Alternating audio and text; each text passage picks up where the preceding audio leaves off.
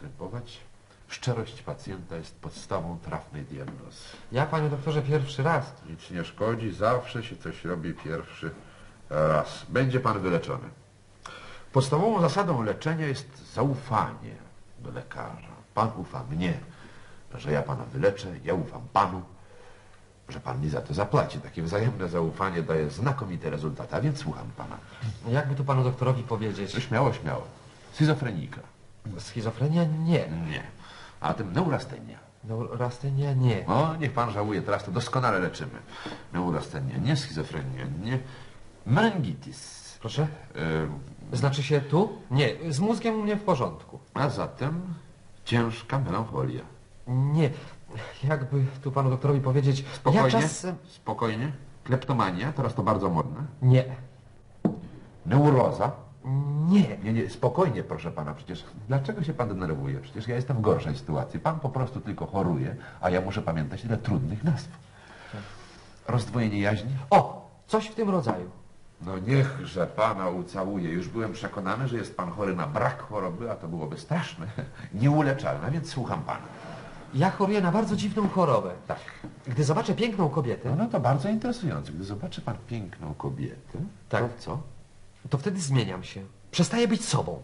No, staję się inny, większy, przystojniejszy. Wstyd powiedzieć, ale jestem Wtedy... Tylko bez wstydu. Jest pan wtedy?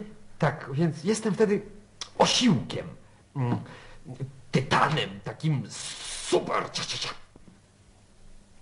A, a po czym pan poznaje, że pan jest e, tym e, super... E, Tego się nie poznaje, panie doktorze, to się czuje. Aha. A teraz jest pan sobą, czy raczej tym... e, Teraz raczej sobą. Raczej sobą. A kim pan woli być? Sobą, czy... No, tym- y, gdy rozmawiam z panem doktorem, to oczywiście sobą. Ale gdy zjawia się piękna kobieta, to wolę tego. Tylko, że to mnie męczy. Pan tak. rozumie, panie doktorze. Bardzo słusznie, znaczy słusznie, ale niedobrze. No cóż, pomożemy panu. Proszę się rozebrać, proszę za parawan. Nauka nie z takimi przypadkami dawała sobie radę.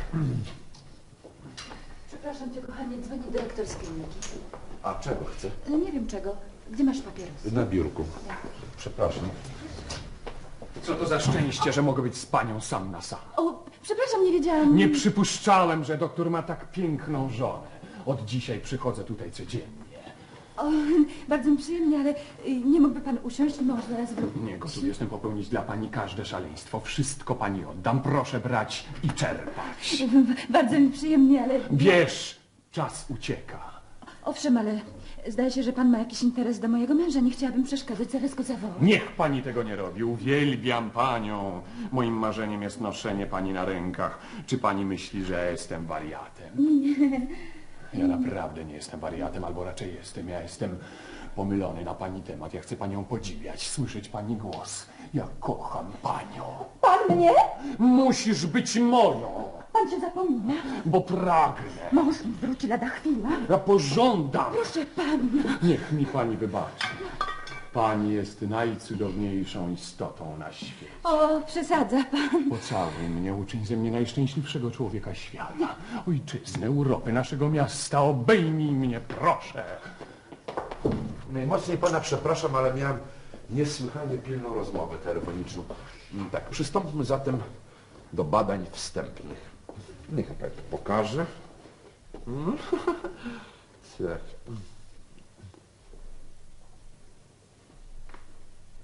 A...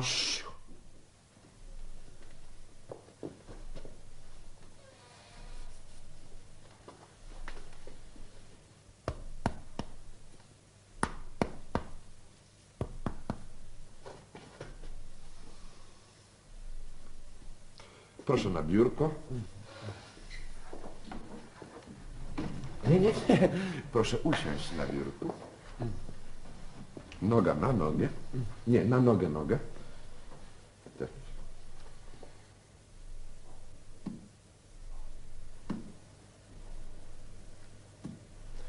No kolanko, bez większych reakcji. Zadowolony pan doktor? No jakże mogę być zadowolony, kiedy pan ma wszystko w porządku. A może ja to mam nie tu, a tu? Gdzie pan co ma, to ja wiem lepiej od pana. Proszę, niech pan stanie. Proszę się teraz zrobić tym... e, A nie, tak to ja nie potrafię. Przychodzi pan do lekarza. Ale ja tłumaczyłem panu doktorowi, że wtedy, gdy zjawia się kobieta, wtedy tak. Aha, No niech pan sobie wyobrazi, że ja jestem piękną kobietą. O, nie, pan nie, pan doktor, nie, nie, to nie to. Przepraszam, to, to nie to, ja nic nie czuję, ja muszę czuć. Proszę w takim razie wejść pod biurko. Pan sądzi, że to pomoże? Stosuję metody dostępne nauki.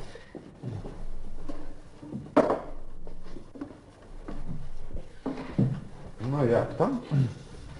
Niewygodnie trochę. No trudno, trudno.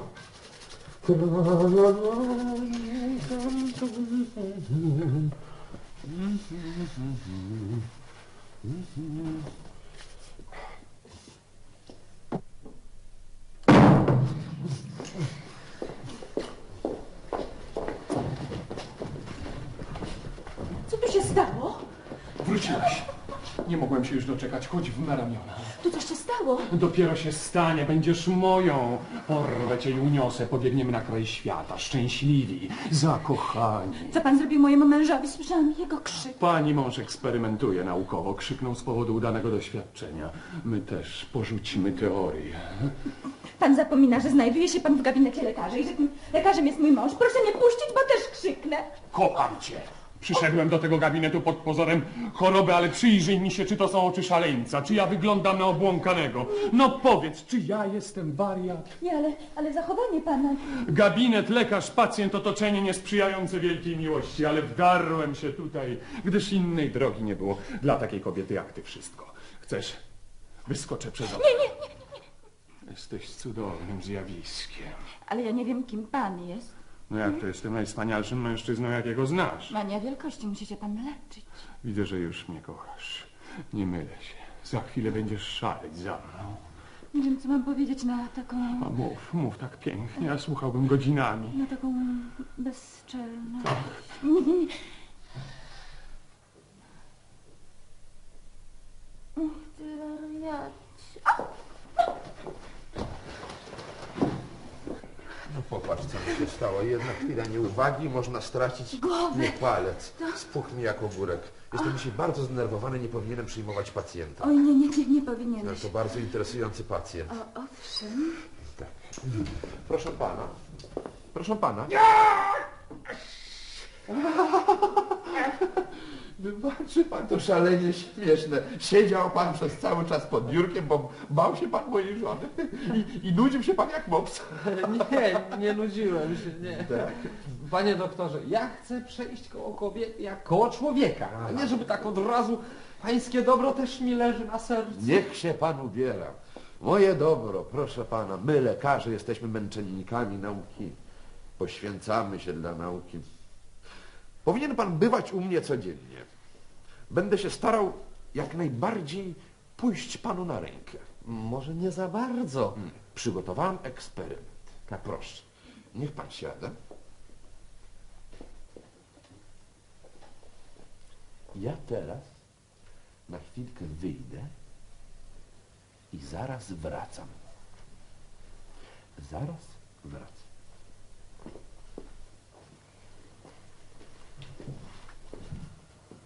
Nie wiem, który z nas jest bardziej chory. Proszę!